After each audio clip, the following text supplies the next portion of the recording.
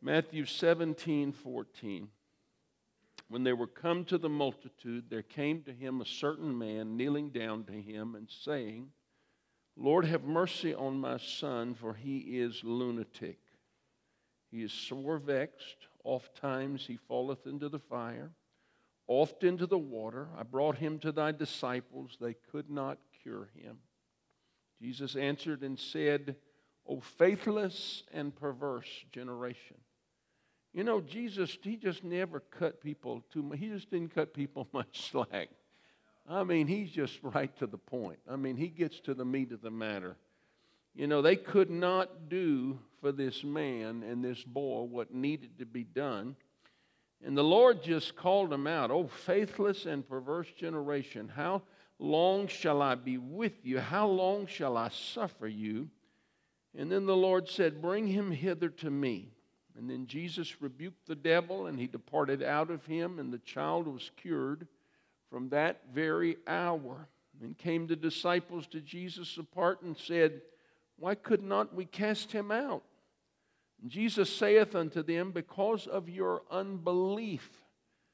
Friends, I'll tell you what, there's there we, people excuse me, people wonder from time to time, why why don't we have more miracles? Why don't we have more healings? We have healings, we have miracles, but why don't we have more? Well, it's because sometimes we've got a shaky believer.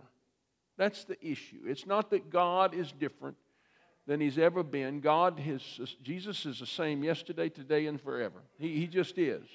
It's sometimes we get so caught up in distractions that, that affect our faith Friends, if we're going to do anything, let our faith be strong.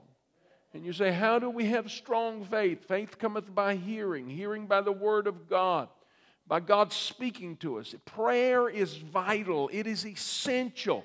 I'm not talking about just saying words, I'm talking about connecting with God and having worship take place because when that happens, it's not only you speaking to Him, it's not only a one way street, it's a two way street, and you're receiving His word back to you. And when you hear God speak, or, or when you recognize that He's speaking into your spirit, your faith just soars.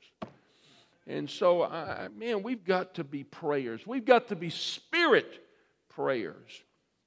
So, as disciples came to Jesus apart, why could not we cast him out? Jesus said, Because of your unbelief, for verily I say unto you, if ye have faith as a grain of mustard seed. I brought the mustard seeds out a while back and I showed you how tiny those little puppies were. I mean, they are just little bitty things. He's saying, if you got faith just like this little grain of mustard seed, ye shall say unto this mountain, Remove hence to yonder place, and it shall remove. And listen to this nothing shall be impossible unto you. Anybody want that kind of relationship with God where nothing is impossible unto God's people? And then verse 21, how be it this kind? He's talking about the Spirit. Jump back to the Spirit that was in the boy. He said, This kind goeth not out but by prayer and fasting. Again, verse 20, Jesus saith unto them, Because of your unbelief. That's the reason this, couldn't, did, this thing didn't happen. For verily I say unto you, if ye have faith as a grain of mustard seed, ye shall say unto this mountain, Remove hence to yonder place, and it shall remove, and nothing shall be impossible unto you. It's been said that there comes a moment in all Christian lives when we must stop talking to God about the mountains in our lives and start talking to the mountain about our God. I want to talk to you tonight on this subject speaking to mountains. Lord, talk to us tonight.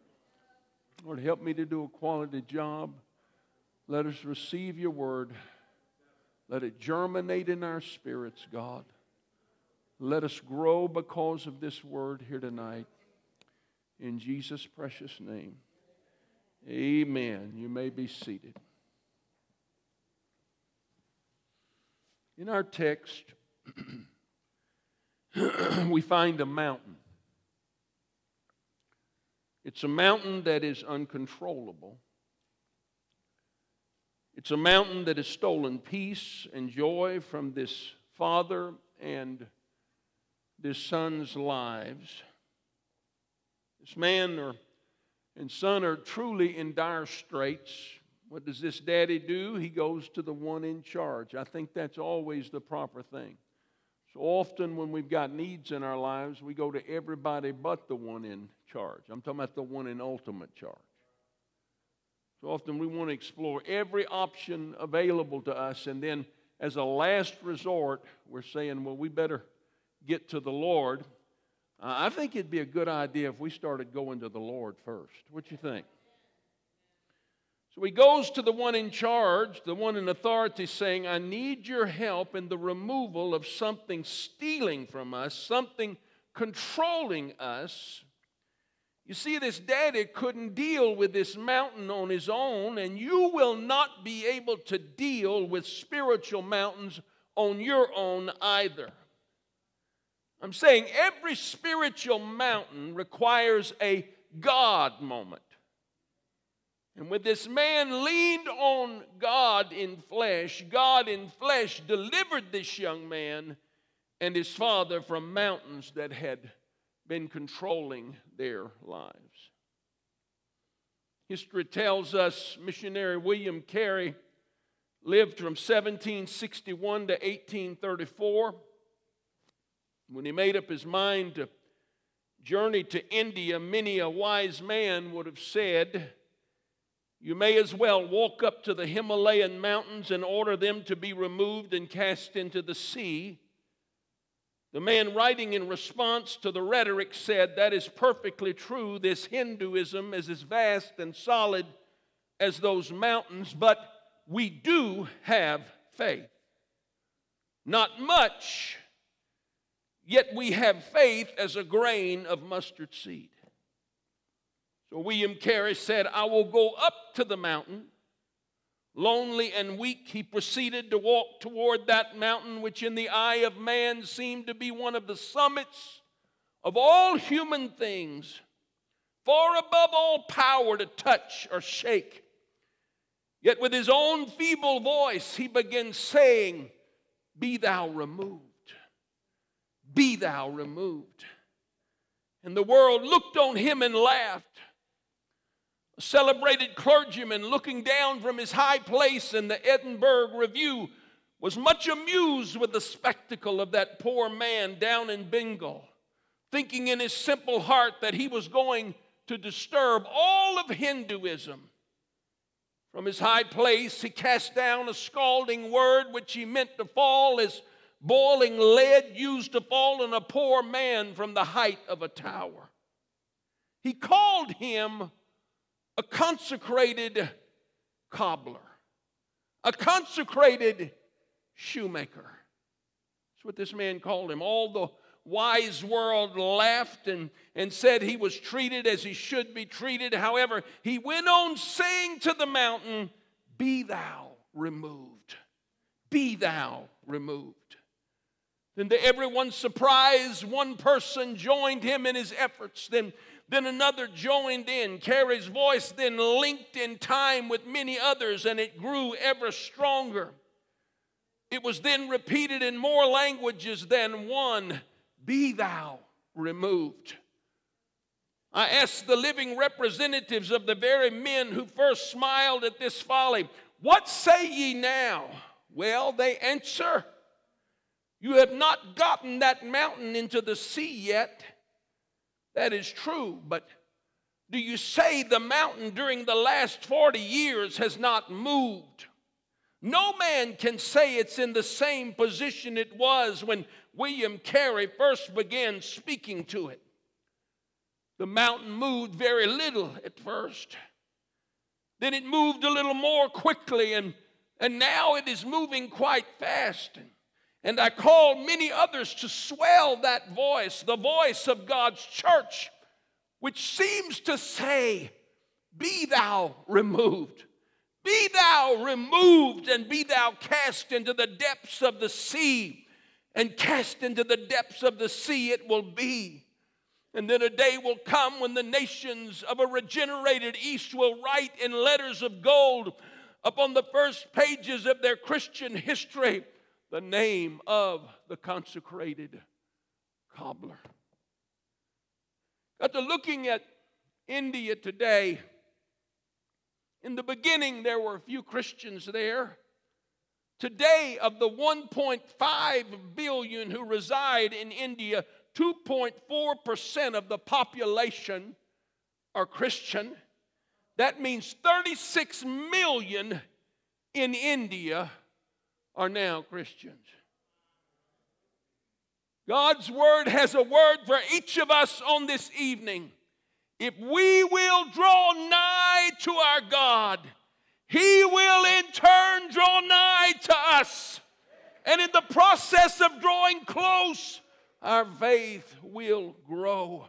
And as our faith grows, we should not think it strange to turn to any mountain in any form and begin speaking to it, saying, Remove hence to yonder place, and it shall remove, and nothing shall be impossible unto you.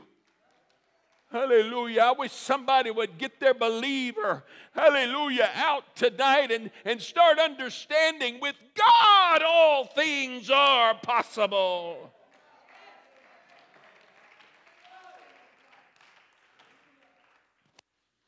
So very often we believe certain, certain roadblocks standing before us to be impossible to go over, around, or through.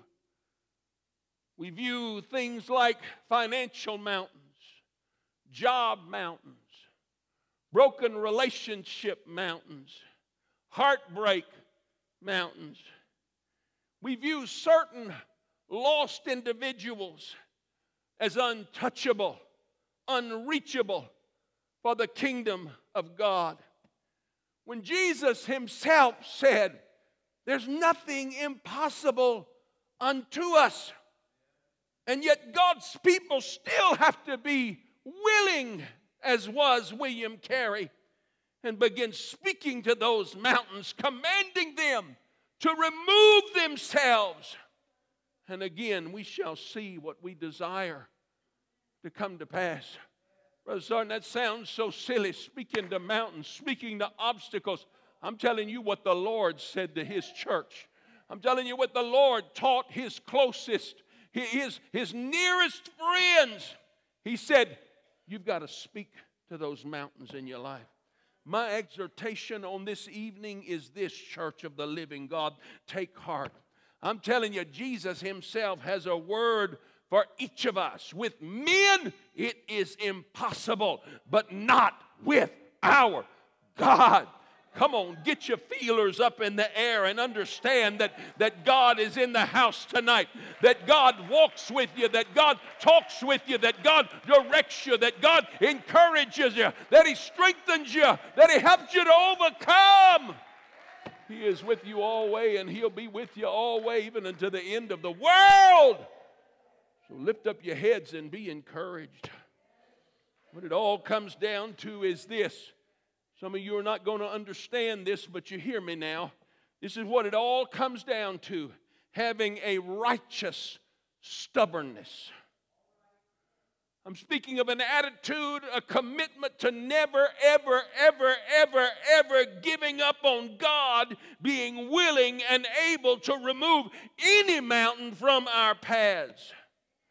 That's if we approach that mountain in faith and begin speaking in faith to it and saying, You will be removed. You will be removed. You're not going to have your own way in my life. No, greater is He that is in me. And I can do all things through Christ, which strengthens me. If your mountain is that broken relationship, begin speaking to that mountain. If that mountain is a backslidden child, every day speak to that mountain. If your mountain is a broken heart, begin speaking to that mountain. If it's an unforgiving spirit, if your mountain is financial, begin speaking to that mountain. Command your mountains to go in faith, believing. I'm telling them, you get, get after those mountains with your faith. Get after those mountains with the God that resides within you. You say, well, when is it going to go? The first time I pray? Probably not.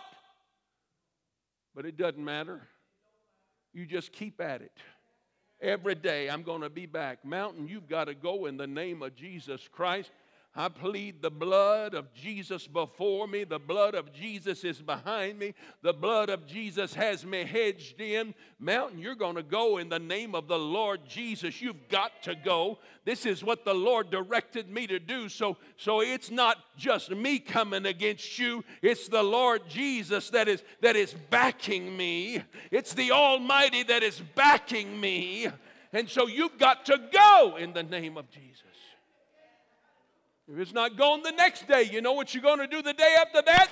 You're going to walk up to that mountain and say, Mountain, be thou removed and cast into the sea in the name of the Lord Jesus. I'm going to be after you every single day of my life until I see it come to pass. Again, we must develop a righteous stubbornness. We must take on this attitude I will not be deterred. I will not stagger. I will not stumble. I will keep at it until I begin seeing that mountain beginning to move. And even then, I will keep at it until my mountain has ultimately been cast into the sea. Hallelujah. When said of obstacles of mountains, mountains have long represented problems to be solved crosses to carry, troubles to be triumphed over. In fact, mountains are problems. Death is a problem, sickness is a mountain.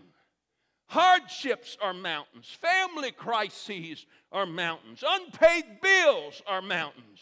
Rebellious children are mountains. Whoremongering husbands and wives are mountains. Lying friends are mountains. Crack addicted loved ones are mountains. I'm talking to you about mountains tonight that, that the Lord said if we'll get after those mountains, they're going to have to go.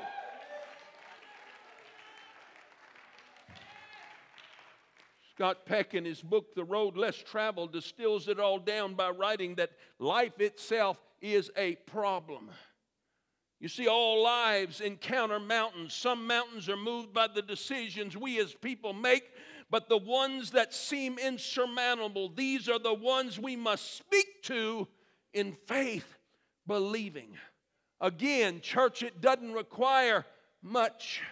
It only requires faith as a grain of a mustard seed. However, if we have this faith, we can say to any mountain, Move from here to there, and it will have to obey.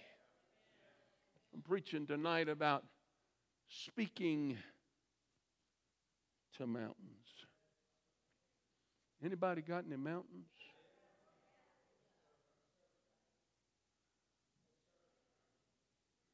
Hallelujah. If you don't have any mountains, you hadn't lived long enough because I promise you they're on their way. Say, we don't have mountains in New Orleans. That's true. I'm not talking about physical mountains here, I'm talking about spiritual mountains. I hear someone saying, but you just don't understand, Brother Sartin. I'm not Elijah who commanded angels. I'm not Daniel who went to the lion's den and came back and, and, and he was victorious. I'm not David who fought a giant and rose above. And, and yes, these certainly had God with them. However, we today have God in us. And God in us is always more than enough. How many of you remember this song? My God is more than enough. He will supply all your need. He's my El Shaddai. He always looks out for me. Jehovah Jireh.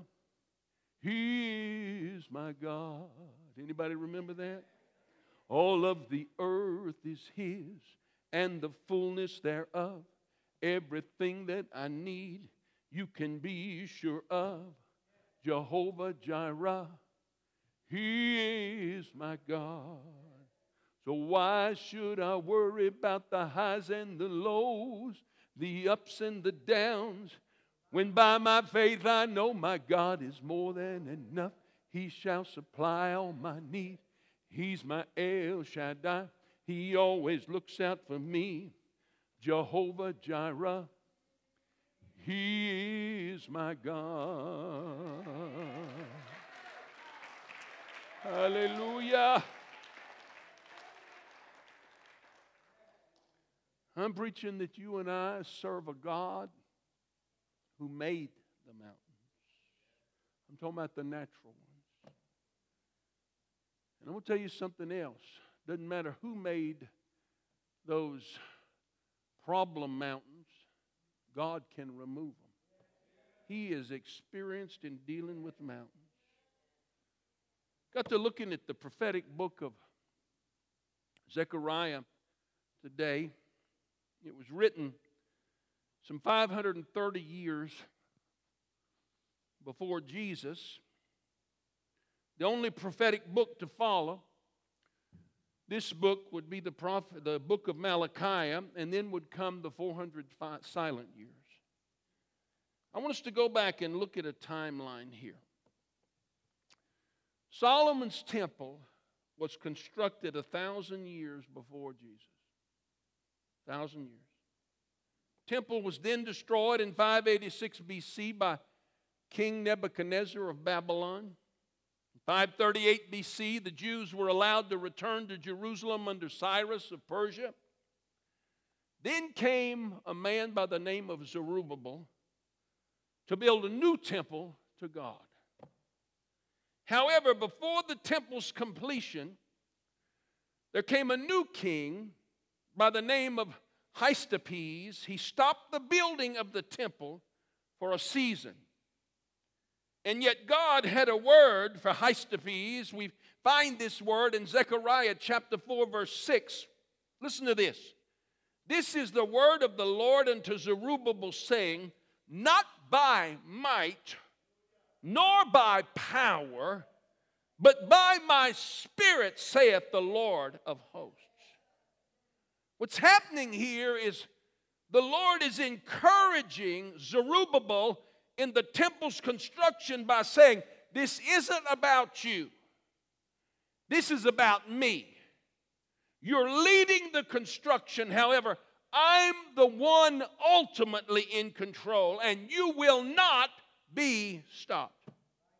Verse 7 goes on to say, Who art thou, O great mountain? In other words, who do you think you are, Hystaspes? trying to stop the work of the Lord. He continues on with, Before Zerubbabel, thou shalt become a plain.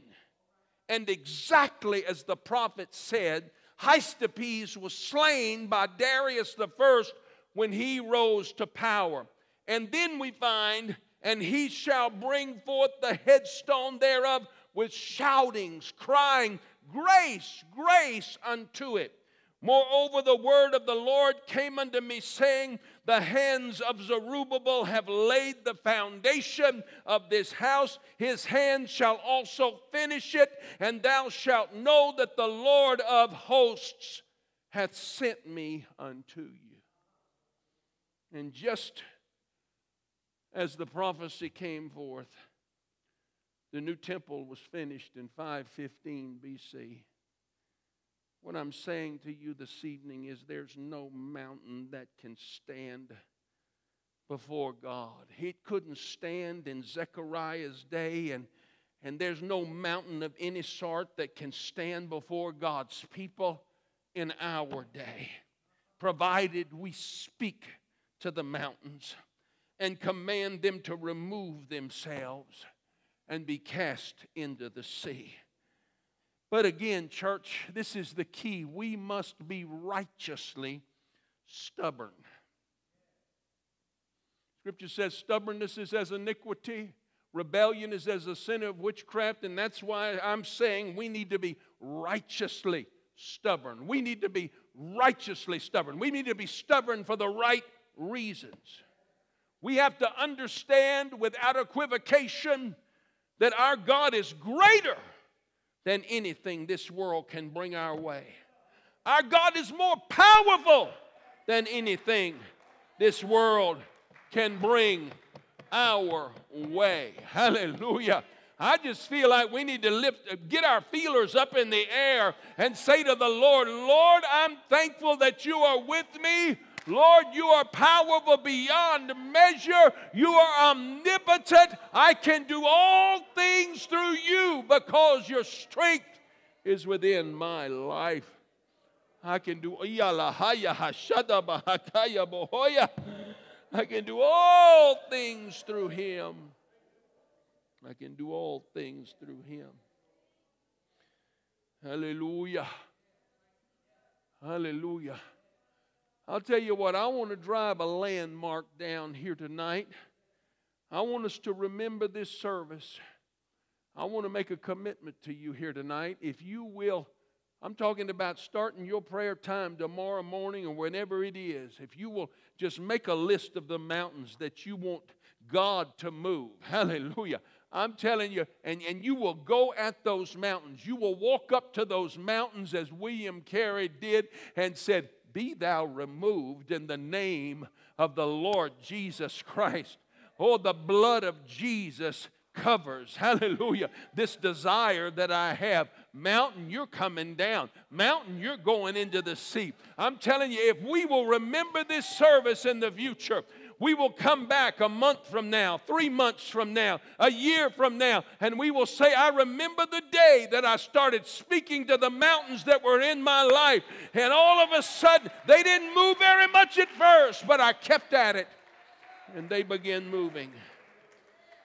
Hallelujah. Let's stand. Praise the Lord.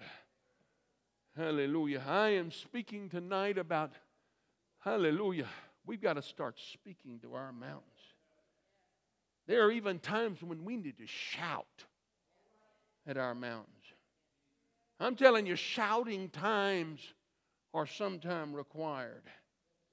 Shouting times denotes deep commitment I'm talking about it, it denotes a fire in our belly. It denotes it denotes something that, that actually is controlled by a high, higher power. When we get to shouting, I'm telling you, the Holy Ghost gets stirred up. Listen to James chapter 5, verse 13. Any among you afflicted, let him pray. Any merry, let him sing psalm. Any sick, sick among you, let him call for the elders of the church. Let them pray over him, anointing him with oil in the name of the Lord. And the prayer of what? The prayer of faith shall save the sick, and the Lord shall raise him up. And if he hath committed sins, they shall be forgiven him. Confess your faults one to another, and pray one for another that ye may be healed. And I want to remind you here this is not speaking about spilling our guts about every mistake we've ever made in life. This is speaking about putting pride to bed and admitting that we are limited and we need God. Then we find the effectual, fervent prayer of a righteous man availeth much. Now I want to give you some I want to give you something that you need to hear. You've heard me say this a thousand times, but let's make it a thousand and one. Elias or Elijah was a man subject to like passions as we are. In other words, he put his breeches on one leg at a time, just like we do. He didn't soar out of the bed in the morning time. He, he didn't have his angel's wings on. He was a man subject to like passions as we are, and he prayed earnestly that it might not rain. And it rained not on the earth by the space of three years and six months. Prayed again, and the heavens gave rain, and the earth brought forth her fruit. The point being, when we command mountains to remove and be passed, cast into the sea, what we're really doing is we're taking the bull by the horns under God and saying, You will submit to me under God's authority. You will be removed. You will yield. It might not happen all the way today, but it's going to happen somewhere in our future because we're going to wrestle every day until you're gone. Amen. Glory to God. Hallelujah. So I have a question here.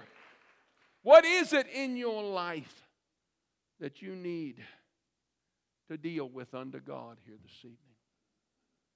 What is it in your life that you have to turn loose God to handle for you? I don't care how many pickaxes you've got in the garage, you cannot move a mountain in the flesh. But I'll tell you what, you get in the spirit. And I'm telling you, that mountains, it begins to shake. It begins to, it begins to quake. That mountain, it begins to stagger and it begins to, to move. I'll never forget it when we were in the Philippines. We'd never been in an earthquake before. But friends, we had, I think, four of them in a short time. And one of them, we up in a seven-story building. That building is going doing this. And I'm saying, oh, God, let me get out of here. And uh, we, we did our best to get out of there quickly, but we couldn't get out. That's what we need to happen in the spirit world where our mountains are concerned.